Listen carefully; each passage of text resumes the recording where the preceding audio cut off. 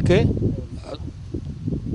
நெற்பயிருக்கு அசோஸ்பெர்லம் உயிர் உரத்தை நாற்றங்காலில் மண்ணில் இடும் மூலமாக இடலாம்.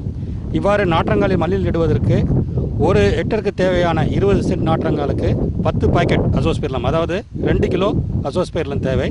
இந்த ரெண்டு கிலோ அசோஸ்பெர்லத்தை இருபது இருபத்தஞ்சு கிலோ மணலுடன் கலந்து விதைக்கலாம்.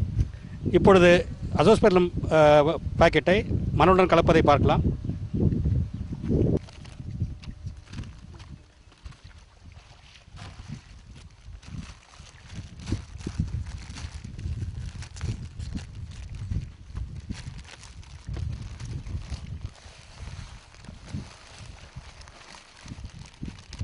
பத்து பாக்கெட்டில் உள்ள இரண்டு கிலோ அசோஸ் பைரத்தை இருபது கிலோ மண்ணுடன் நன்கு கலந்து அந்த கலவையை ஒரு எட்டிற்கு தேவையான இருபது சென்ட் நாற்றங்காலில் பரவலாக இட வேண்டும்.